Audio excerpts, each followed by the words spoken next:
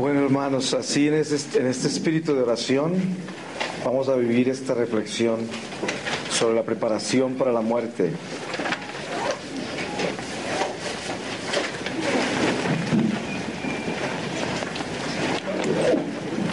Le voy a pedir al Señor su santa palabra para que en esta palabra el Señor nos santifique.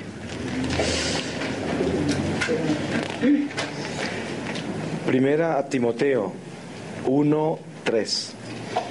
Predique la verdadera doctrina. Bien sabes cómo al irme a Macedonia te pedí que quedases en Éfeso, para que hicieses entender a ciertos sujetos que no enseñasen doctrina diferente de la nuestra, ni se ocupasen en fábulas y genealogías interminables, que son más propias para excitar disputas que para forma- formar por la fe el edificio de Dios. Pues el fin de los mandamientos es la caridad que nace de un corazón puro, de una buena conciencia y de una fe no fingida, de lo cual, desviándose algunos, han venido a dar en charlatanería, queriendo hacer de doctores de la ley sin entender lo que hablan ni lo que aseguran. Ya sabemos que la ley es buena para el que usa bien de ella, reconociendo que no se puso la ley o sus penas para el justo, sino para los injustos y para los desobedientes, para los impíos y pecadores, para los fa- fascinerosos y profanos, para los parricidas y matricidas, para los homicidas, para los fornicarios, para los sodomitas, para los que hurtan hombres, para los embusteros y perjuros, y para cuantos son enemigos de la santa doctrina, la cual es conforme al Evangelio glorioso de Dios bendito que se me ha encomendado. Gracias doy a aquel que me ha confortado, a Jesucristo Señor, porque me tuvo por fiel, poniéndome en el ministerio a mí, que fui antes blasfemo y perseguidor y opresor pero alcancé misericordia de Dios por haber procedido con ignorancia, careciendo del don de la fe. Y así ha sobreabundado en mí la gracia de nuestro Señor con la fe y caridad que es en Cristo Jesús. Verdad es cierta y digna de todo acatamiento que Jesucristo vino a este mundo para salvar a los pecadores, de los cuales el primero soy yo. Mas por eso conseguí misericordia, a fin de que Jesucristo mostrase en mí el primero su extremada paciencia, para ejemplo de los que han de creer en Él para alcanzar la vida eterna.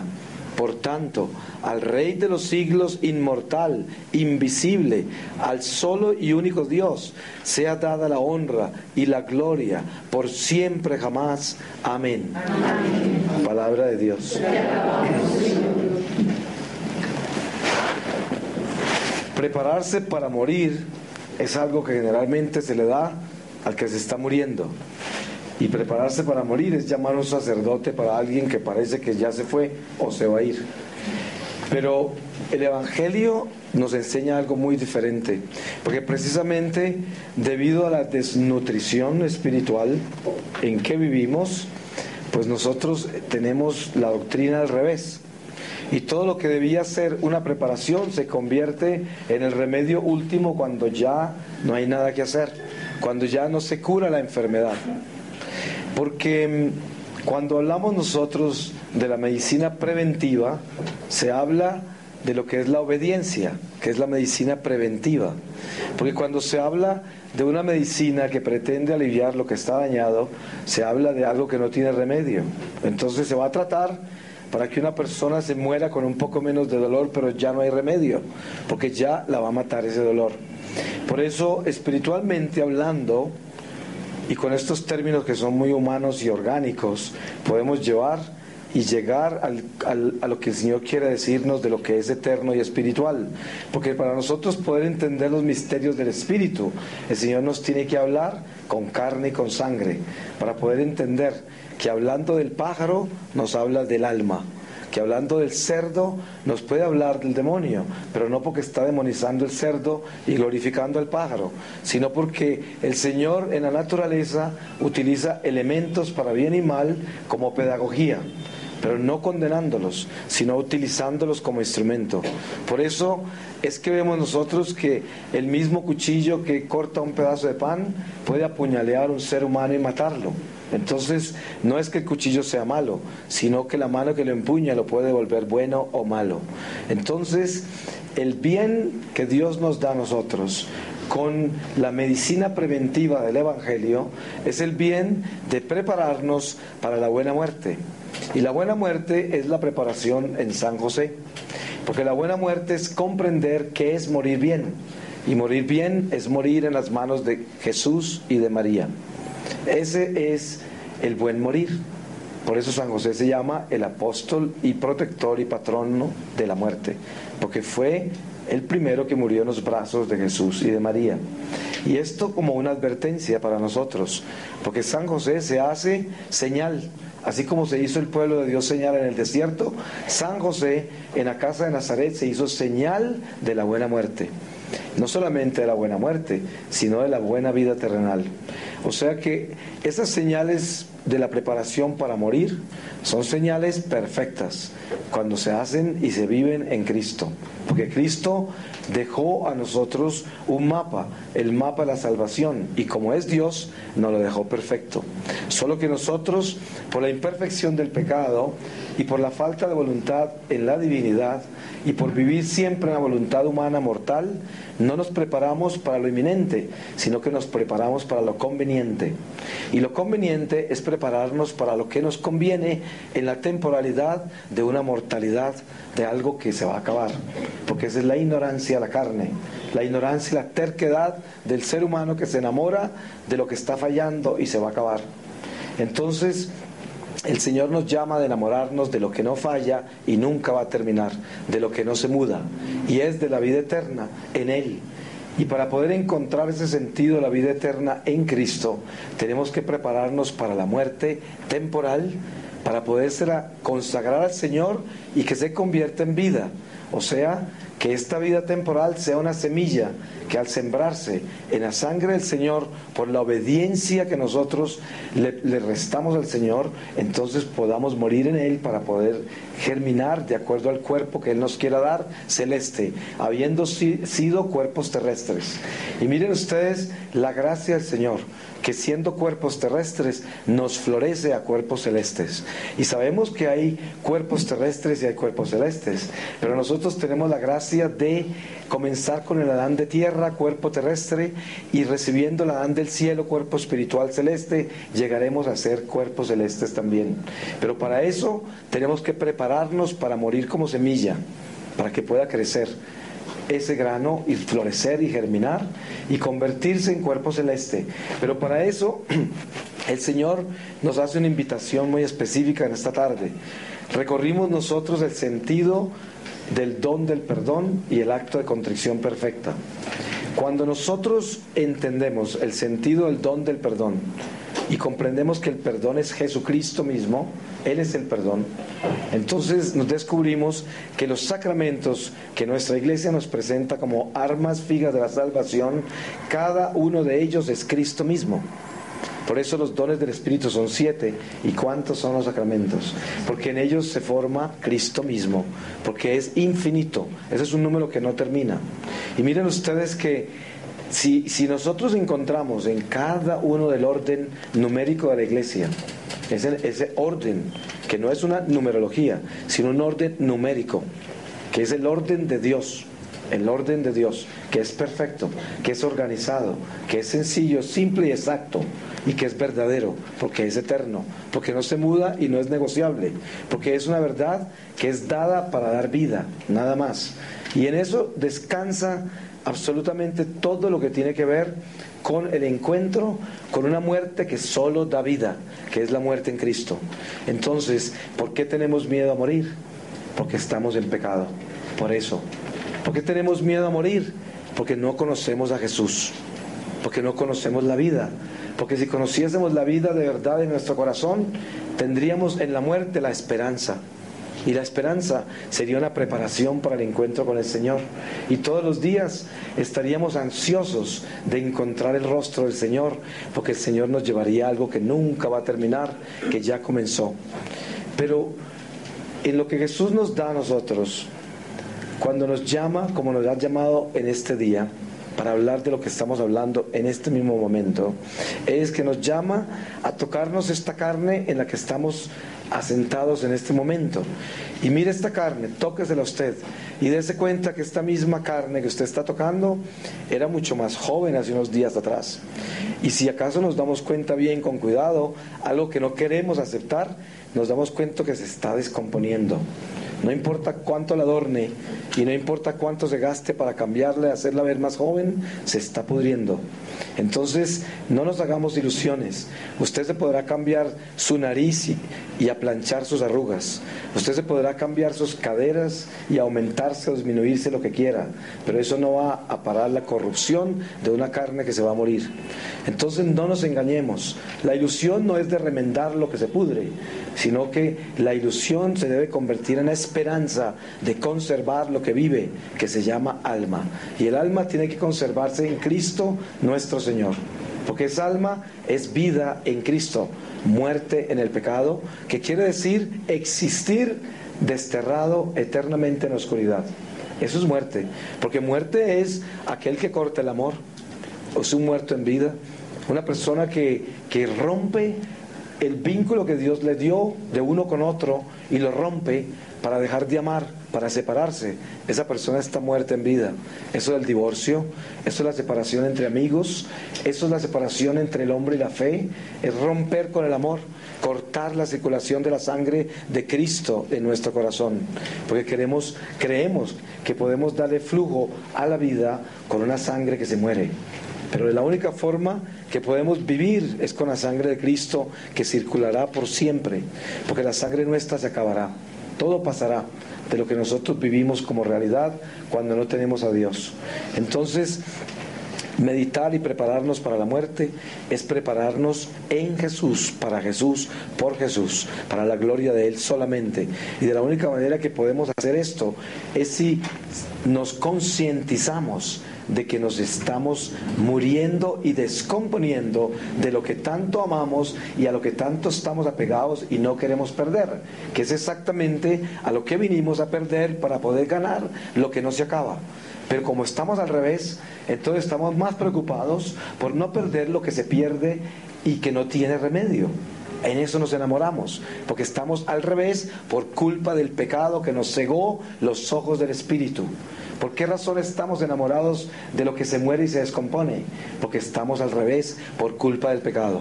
Porque si estuviésemos al derecho por la gracia, estaríamos enamorados de lo que no se muda ni se muere, que se llama el espíritu en Dios, el alma que se santifica en Dios y nunca muere. Estaríamos enamorados de eso, enamorados de Jesús. Porque eso es la vida. Entonces, el Señor nos llama para que nosotros hagamos un paréntesis entre el amor que le tenemos a la carne y el amor que todavía no le tenemos al alma. Y que podamos parar allí y contemplar bien este misterio y empezar a desenamorarnos de la carne y a enamorarnos del Espíritu en Jesús. Porque hay un enamoramiento en el espíritu del mal, que es el enamoramiento de la malicia y del pecado, que, parece espíritu y actúa como espíritu, pero que es muerte, porque solamente actúa en la carne, porque actúa en la naturaleza inferior que es gobernada por el príncipe de este mundo que se llama Satanás, que solo tiene poder sobre la vida temporal. Porque para, para, tener poder sobre la vida eterna se tiene que entregarse en la vida temporal. Entonces Satanás actuará en nosotros durante la carne. Pero cuando la carne termina, si usted le entregó la carne al, al demonio, quedará en Satanás. Pero después de esto ya no podrá actuar porque ya se convirtió en obra, que es la obra de su condenación. Y ya no es actuar, sino que es obra de condenación. Pero para nosotros que buscamos la obediencia y estamos buscando la verdad y queremos que tener a Cristo en nuestro corazón, entonces el demonio actúa únicamente en la temporalidad de una vida que ya se termina y que el Señor ya nos va a liberar de ella, que es la vida de, esta, de este exilio, la vida de este destierro que es la multa que pagamos nosotros para alcanzar de lo terrestre y lo celeste, pasando por las pruebas que en el camino Dios permite para nuestra purificación. Porque este esta tierra es una escuela de almas y aquí se forman las almas. Este es el horno. Y entre más nos acercamos al fuego del Espíritu del Señor, más se cocina ese barro y más puede soportar el agua viva del Señor sin que se derrame, sin que tenga un escape por ninguna parte, para que pueda depositarse allí y resucitarnos a nosotros, a pesar de ser barro. Entonces, el Señor en esta Semana Santa nos quiere a nosotros que nos centremos en nuestra mortalidad, pero para que nos demos cuenta de que hay algo mucho más grande que hemos descuidado, y es la prioridad de nuestra vida, que es lo que no se muda, ni se muere, ni cambia nunca, que es el Espíritu de Dios en nosotros, que puede elevar esta alma desnutrida por falta de amor de Dios y elevarla al camino verdadero donde empieza el alma a buscar a Dios con el hambre de la esperanza, porque ella quiere solamente llegar al cielo. Yo muchas veces en medio de la misión, en ejercicios espirituales en los retiros, le digo al católico, vamos a hacer un ejercicio al final de este retiro. Y el ejercicio dura cinco minutos, tal vez menos. Al terminar este retiro lo vamos a hacer hoy mañana, cuando terminemos este retiro. Y es que nos vamos a arrodillar después de haber vivido todas estas reflexiones y vamos a pedirle al Señor lo único que es importante en nuestra vida. Le vamos a decir al Señor, Señor, yo quiero ser santo. Es lo único que quiero en mi vida, solo ser santo. Y ustedes pensarán, lo difícil que es hacer esto. ¿Y por qué? Por lo enamorados que estamos de lo que se está muriendo, de lo que se está corrompiendo, de lo que se está pudriendo, de lo que va a pasar y se va a acabar. ¿Y cómo estaremos de mal? Que nos duele y es difícil arrodillarse a pedirle al Señor la santidad. Porque duele, porque es algo que parece ser como una muerte y es porque es una muerte. Es porque se muere al mundo, porque se muere a todo lo que es vano, porque se muere a todo lo que se corrompe, porque se muere a todo lo que pasa. Y porque en ese momento se nace a lo único que es, que nunca se muda, que es a la vida eterna en Cristo. Este es un ejercicio espiritual serio, difícil y se hace con una sola rodillada, en un solo momento y con una sola frase. Señor, quiero ser santo. Eso. ¿Ustedes saben cuánta preparación se necesita para hacer eso? Se necesita el abrazar a Jesús y reconocerlo como mi Señor, mi amo, a quien busco yo, a quien glorifico en mi vida y el único que yo quiero en mi vida, nada más. Esa es la santidad, ese es el único camino. La única preparación para la muerte es esa. Porque si nosotros deseamos el cielo y tenemos el cielo como meta, entonces es porque estamos buscando la santidad. Pero hay muy buenos católicos y gente que practica espiritualidades profundísimas. Yo conozco grupos de oración que son impresionantemente profundos y siguen místicos que hasta los mismos doctores de la iglesia hubiesen querido estar en ese grupo de oración, de los místicos que son. Pero ninguno de esos que estudia ese místico tan profundo, se ha arrodillado a pedirle al Señor la santidad con toda su alma, su corazón, su mente, con todo su ser. Porque esa es una muerte, esa es una muerte. Quizás aquí hayan personas que ya lo han hecho. Gloria a Dios por eso, porque esos son pilares de la iglesia y nos están apoyando aquí en la batalla espiritual en que nos encontramos. Porque ¿cuál es la batalla espiritual en que estamos en este momento? Que nosotros tenemos decisiones que tomar cada uno de nosotros. Y cuando hablamos de lo que estamos hablando, el enemigo le está debilitando su corazón para que usted no tenga la fortaleza para arrodillarse y pedir la santidad. Porque el demonio le va a hacer sentir como que no es necesario todavía, como que es algo que tengo que pensar y algo que ni siquiera quiero actuar. Es decir, yo oigo lo que estoy oyendo, pero parece como si no lo estuviera oyendo, porque no me conviene, porque no me conviene, por eso simplemente, porque yo prefiero prenderme de lo que se está pudriendo, yo prefiero prenderme de esta mortalidad y seguir enamorado de lo que me puede matar, prefiero eso, y quedo igual que el que sale del médico después de que lo dictamina con un peligro inminente de cáncer por fumar y apenas sale de la oficina del médico, prende un cigarrillo. Entonces, eso es, hoy el Señor nos exhorta para que nosotros nos centremos en una realidad que no es negociable. Y es la realidad de usted atreverse a no asustarse con la muerte temporal, sino atreverse a enamorarse de la vida eterna. Miren lo absurdo que es el enamoramiento de la vida temporal. Cuando nosotros nacemos y somos concebidos en el vientre de nuestra madre terrenal y Dios sopla la vida en ese embrión, quedamos parados en la vida eterna desde ese momento. Lo que comenzó en el vientre de la madre terrenal nunca termina. La pregunta es, ¿por qué sendero vamos? ¿Vamos para abajo o vamos para arriba? ¿Vamos a ser cuerpos celestes o vamos a ser demonios? ¿Para dónde estamos caminando? Entonces, el Señor, al llamarnos a esta reflexión, nos está explicando una cosa muy clara. No hay medio santo ni medio demonio. Es santo o es demonio. No hay una persona medio buena o medio mala. O se es bueno o se es malo. No es que yo haya dejado de mentir, porque ahorita solo las piadosas miento. Pero usted sabe que eso es mentira, tan chiquita como grande, que es Satanás.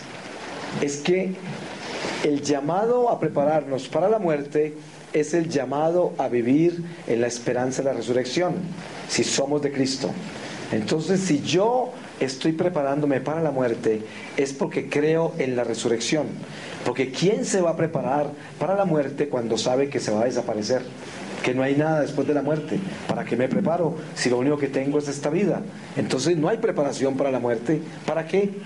Es como un preso prepararse para salir de la cárcel cuando está sentenciado a cadena perpetua incomutable y nunca va a ver la calle. ¿Se va a preparar para la libertad?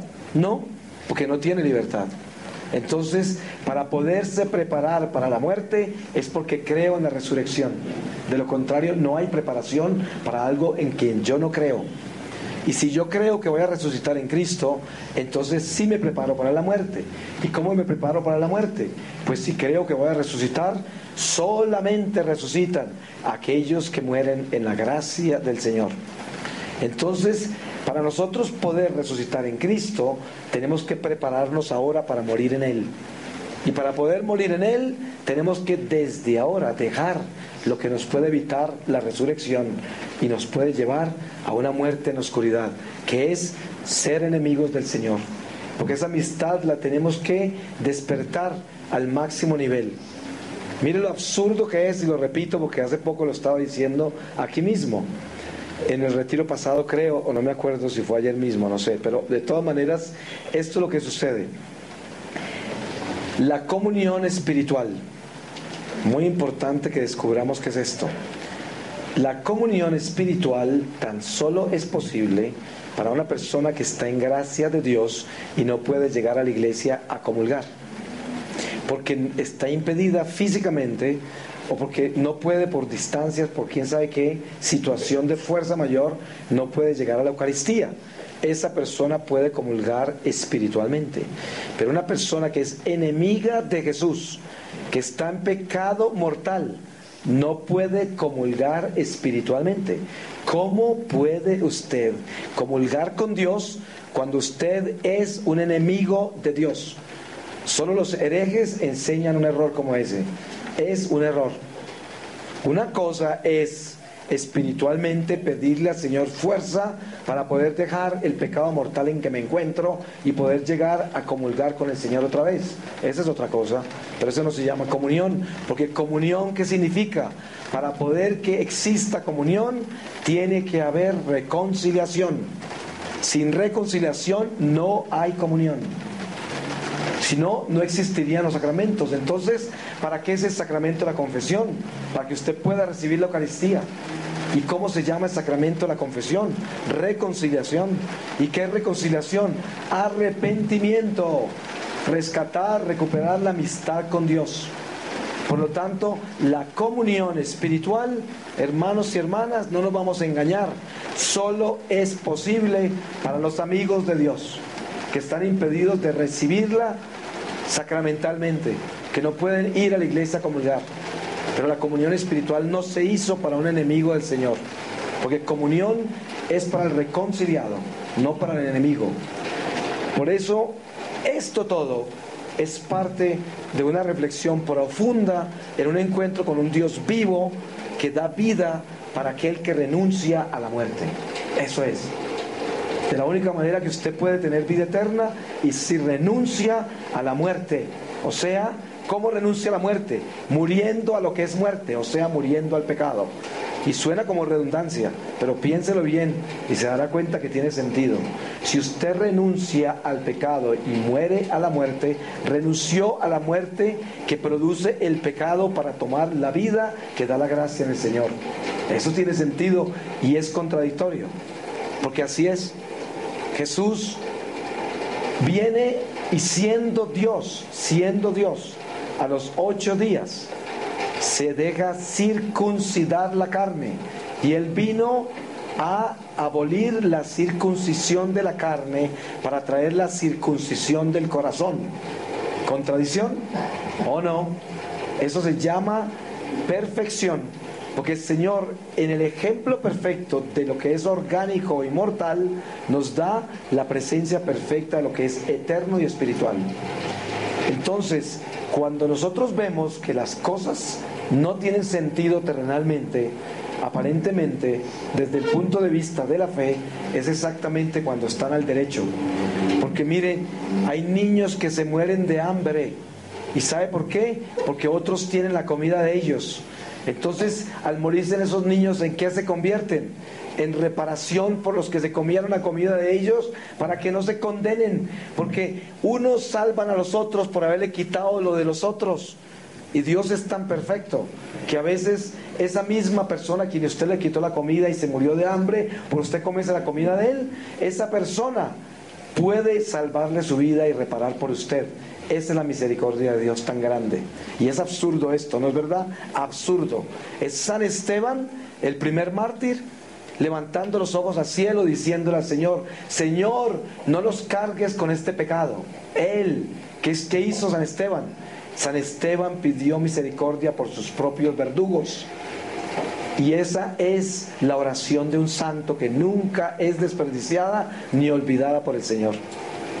Entonces, no hay nada equivocado en lo absurdo aparente de Dios entre nosotros, que por el raciocinio y por toda esta limitación que tenemos nosotros como humanos, exigimos que las cosas sucedan al derecho de nuestro entendimiento, cuando el derecho de nuestro entendimiento generalmente es lo contrario de la verdad. Así de que cuando yo tengo, me caso y tengo una casa chiquita, con un cuarto chiquito, con un empleo chiquito, entonces tengo un hijo y tengo dos hijos y ya quiero una casa más grandecita, con un empleo más grande, con un carrito. Y todo eso lo justifico porque es el derecho de mi entendimiento humano. Pero a lo mejor el Señor no le va a dar a usted la casita más grandecita con el empleo más grandecito y el carrito, porque si le da eso de pronto lo pierde. Entonces lo quita con la casa, lo mantiene con la casa chiquita y con el empleo chiquito y sin carrito, para mantenerlo en ayuno y salvarlo. Pero usted en el derecho de Dios se gasta 500 novenas y se, y se, y se rompen las rodillas y se le vuelven monstruosos los dedos de rezar rosarios pidiendo la casa grande, el carrito más grande y el empleo, ¿cierto? Porque el Señor se lo tiene que dar, porque Él entiende que usted lo necesita, porque el Señor le dio a sus hijos y le dio a esa familia que necesita otra casita, ¿cierto? Pero eso es el derecho humano, eso no es el derecho espiritual. El derecho espiritual es que quizás para el Señor como nos da beneficios eternos primero, el Señor sabe que mejor lo mantiene en ayuno porque sabe cómo está usted de mal con su orgullo, vanidad y pretensión. Y si le da lo que usted pide, lo pierde, con hijos y todo, pierde todo. Entonces, por eso una persona que pide tanto las cosas que no recibe, termina pidiéndolas al diablo. Entonces el diablo le da casa grande, empleo grande, carro grande y le roba todo. Y acaba con la familia, se le roba el alma y le destruye su vida. Entonces, el derecho del hombre generalmente es el contrario de los beneficios eternos que Dios nos quiere dar. Por esa razón, una persona se queja porque está enferma y no entiende por qué no se cura. Y le pide al Señor y reza y hace esto y sacrificios y todo. Y su fe se le pone un poco delgada porque no entiende. Y que lo que no sabe es que el Señor le está formando esa alma con el dolor de esa enfermedad, con esa limitación. Por eso el Señor no le arregló la tartamudez a Moisés y puso a su hermano Aarón que hablara y lo haya podido curar. El profeta tan grande lo dejó así. ¿Para qué? Para que no se crea tan grandecito y así lo purifica. Y sin embargo, mire que Moisés no pasó a la tierra prometida. ¿Qué tal que le hubiera enderezado la voz? Y era un profeta como pocos han habido. Entonces, desen cuenta ustedes que lo importante para la preparación para la muerte no es simplemente pensar en lo que significa la muerte, que es el fin de algo, el fin determinante de algo. Eso es muy fácil pensarlo filosóficamente, teológicamente, quiere decir el principio de algo y quizás el final de algo y quizás el principio de algo nuevo. Lo podría decir un teólogo, ¿cierto? Porque trayendo el Espíritu de Dios a eso. Pero eso no hace nada. Eso explica algo, eso quiere decir algo, no sirve para nada. La explicación de la preparación para la muerte es la preparación para hacer vida en Cristo, o sea, renunciar al pecado, el único que se prepara para la muerte es el que renuncia a la vida terrenal. Es el único. El que no pierda esta vida terrenal nunca ganará la vida eterna. Así empieza. Tenemos que renunciar a esto. Y renunciar a esto no es abandonar esto. Renunciar a esto es ser administrador de esto sin poseer esto. Eso es. Porque mire, cuando usted se levante y se coloque la ropa que usted tiene, acuérdese que se está poniendo la ropa que le prestó el Señor. Usted ha visto una familia bien grande, que es una familia humilde, y que el hermano menor, que es el décimo, se está poniendo el vestido reciclado del hermano mayor que ya tiene 30 años, ¿cierto? y con mucho honor sale a la calle, al colegio, con la ropa que su propio hermano también se puso y de ella le hicieron esos pantalones, ¿cierto? Y de ella le hicieron ese saco. ¿Por qué? Porque están administrando los bienes que Dios les dio y el orgullo de ellos no está en la ropa nueva, sino que el orgullo de ellos está en el amor que Dios les dio como familia, en la humildad de la escasez que se convirtió en abundancia espiritual por el amor. Eso es la familia de Dios se viste con lo que hereda de su hermano mayor. Y nosotros nos vestimos con el vestido de Cristo, con ese. Ese es nuestro hermano mayor. ¿Quién es mi hermano mayor? Se llama Jesucristo. Y yo me quiero vestir con la ropa del Señor que la han pasado a través de generaciones de mártires y de santos de la iglesia. Y hoy me la pongo yo. Porque la heredé de mi otro hermano que se acabó de ir y que está grande ya. Entonces, esta ropa es la que yo visto, pero no la que me venden en la esquina, que todos los días es más bonita, más atractiva. Yo no me he visto con la seda del diablo, yo me he visto con la túnica de Jesús, con la misma que se jugaron a los dados. Pero esa se la jugaron a los dados, pero los que se ganaron la túnica se murieron, pero la túnica no se murió. La túnica siguió por la tierra vistiendo los mártires y los santos. Y aquí todo el que abraza al hermano mayor se viste con la túnica de ese hermano, porque la túnica nunca se ha ido de la tierra y no se irá hasta que el Señor regrese. Y por eso vistámonos con los remiendos del hermano mayor, pero esos remiendos son los remiendos de la santidad. El diablo se puede jugar a los dados, la ropa de la familia de Dios, pero todo pasará, menos lo que viene de Dios. Eso no pasará nunca. Entonces, la preparación para la muerte es el encuentro con un Jesús vivo, donde no nos vestimos con la seda del demonio, sino con la túnica del Señor. Y la túnica del Señor es el encuentro con la reconciliación. Y la reconciliación es descubrir que yo tengo que morir para poder crecer de verdad. Esta semilla tiene que enterrarse. Se tiene que enterrar en la tierra de donde vino. Y ahí muere se descompone, se pudre. Y de ahí el Señor sacará un cuerpo celeste, si es que usted murió en la paz, obediencia y gracia al Señor. Y si no, será peor que un cuerpo terrestre. porque será una bestia del subterráneo de la maldición. Entonces, prepararse para la muerte es prepararse a ser virgen fiel con el aceite, preparado para la lámpara. Es prepararse para disminuirse, para hacerse pequeño, para que el Señor comience a crecer. Prepararse para la muerte es perder la vida temporal. O sea, acordarme de esto. Si usted tiene vergüenza de contarme a mí cuántos años tiene, es porque usted es un simple, miserable mortal. Por eso es. Pero si usted, yo le pregunto cuántos años tiene y me dice, el Señor me ha dado la gracia de poder vivir 87 años, 30 días, 60 horas. Y estoy casi podrido del todo ya, pero todavía sigo acá reparando tanto daño que he hecho. Gloria a Dios por los días que me ha dado. Ese es un hijo fiel del Señor. ¿Quién es el infiel?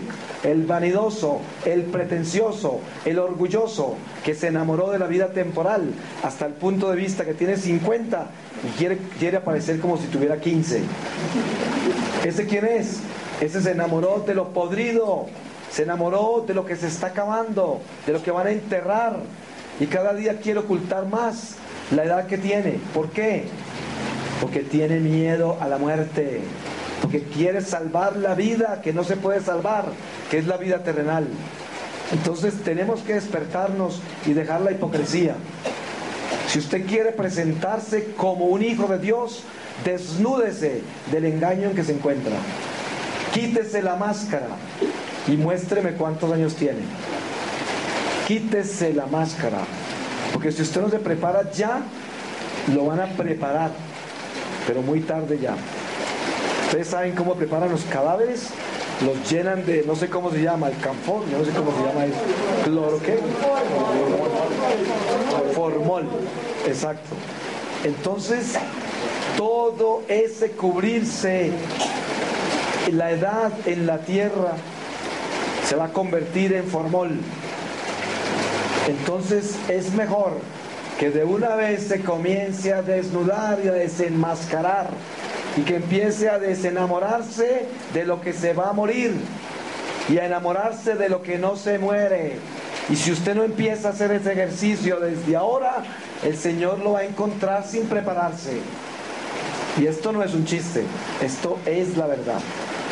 Los ejercicios espirituales se hacen ejercitándolos, no simplemente comprendiéndolas. Porque en este momento esto puede sentir puede sonar increíblemente humoroso, y lo es, y tenemos que reírnos, pero siempre y cuando vamos a actuar sobre eso. Ahí sí vale la pena reírse, porque yo puedo reírme de lo tonto que he sido, de lo hipócrita, de lo fariseo que he sido, reírme de eso, pero al mismo tiempo darle gracias al Señor por desenmascararme, por desenmascararme. Entonces, hermanos, el Señor nos ha llamado para que descubramos una sola cosa, lo que hemos hablado todo el día. Hoy me voy a morir. Ese es el Evangelio.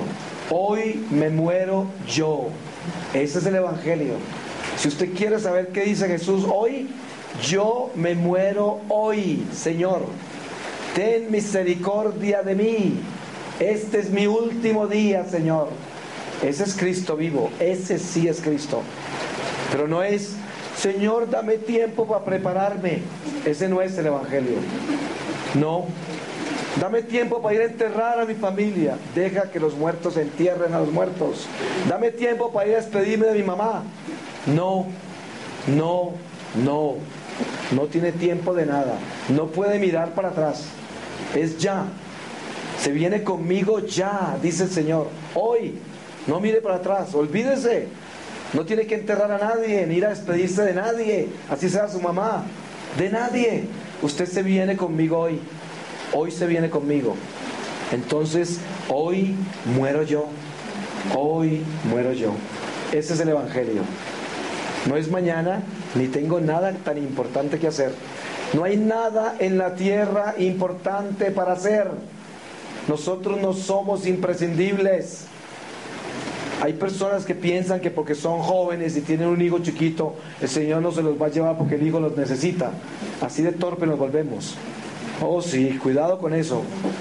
Nosotros somos los hijos de Dios y los hijos nuestros son simplemente los hijos de Dios que el Señor nos dio a cuidar. Y no podemos olvidarnos de eso.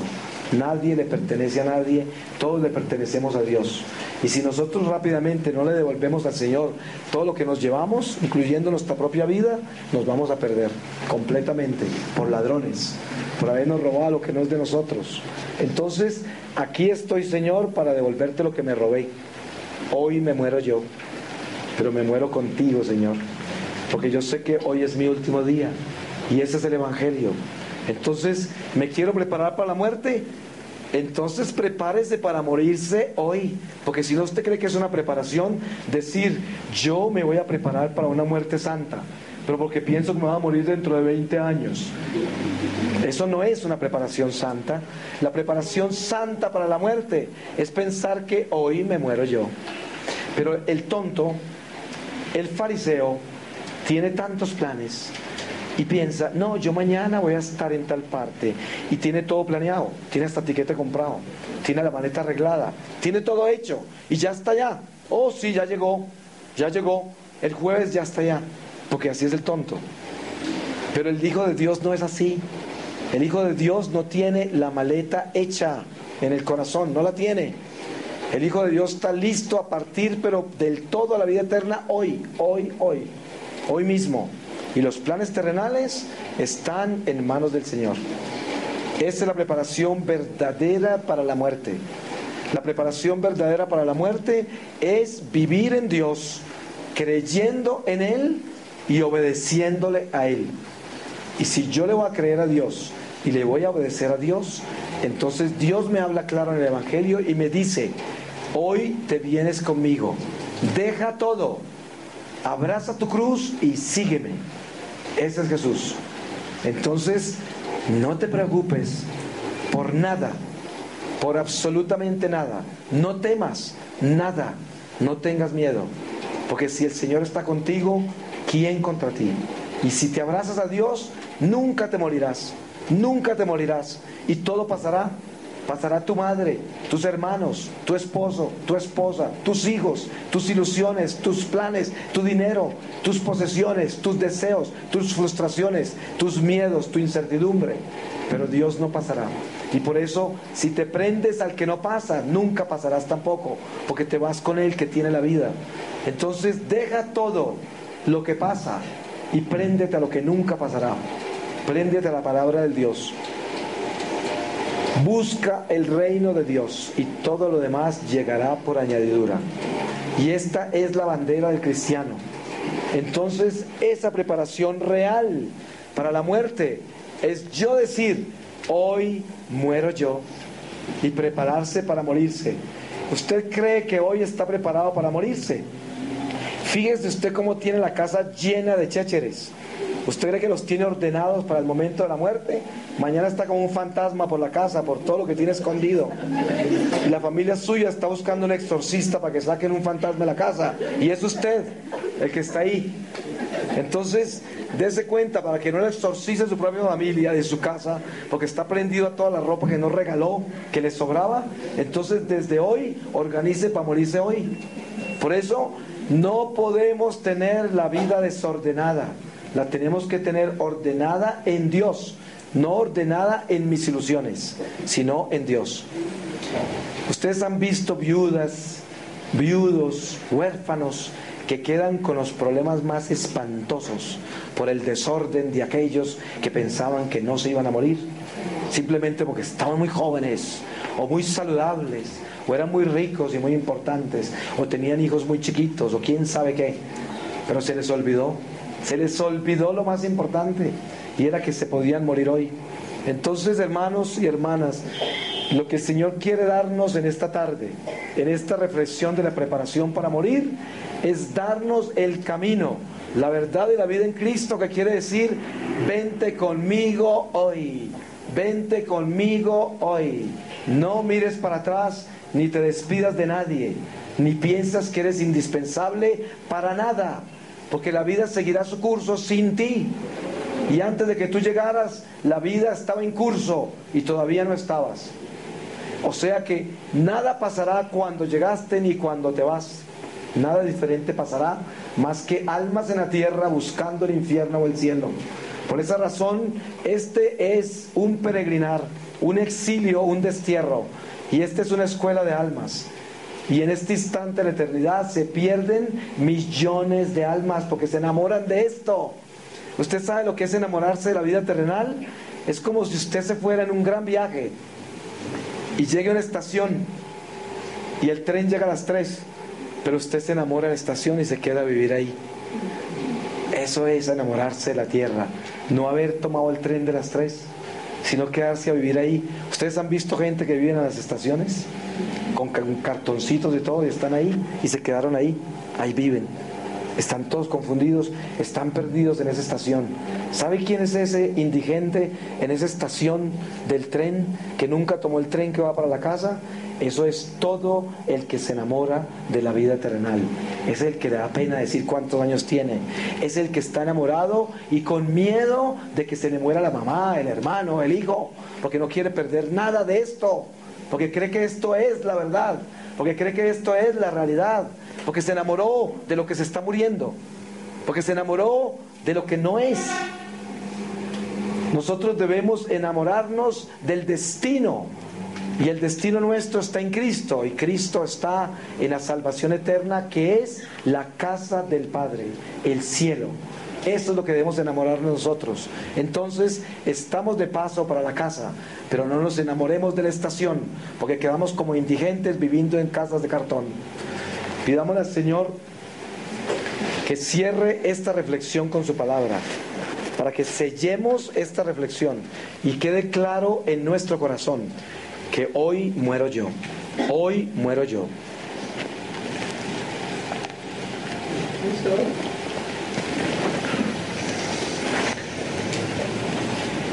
San Mateo 23, 25. Su hipocresía. Ay de vosotros, escribas y fariseos hipócritas, que limpiáis la parte exterior de la copa y del plato, mientras por dentro están llenos de rapacidad y avaricia. Fariseo ciego, limpia primero el interior de la copa, para que también el exterior quede limpio. Ay de vosotros, escribas y fariseos hipócritas, que sois semejantes a los sepulcros blanqueados, que por fuera parecen ciertamente vistosos, pero por dentro están llenos de huesos de muertos y de toda inmundicia. Así vosotros al exterior parecéis justos a los hombres, pero por dentro estáis llenos de hipocresía y de iniquidad. Ay de vosotros, escribas y fariseos hipócritas, que edificáis los sepulcros de los profetas y adoráis los monumentos de los justos, y decís, si nosotros hubiéramos vivido en los días de nuestros padres, no hubiéramos participado con ellos en la muerte de los profetas. Así pues, dais testimonio contra vosotros, que sois hijos de aquellos que mataron a los profetas. Colmad pues la medida de vuestros padres. Palabra de Dios. Pues más claro no puede hablar el Señor. Amén. Amén.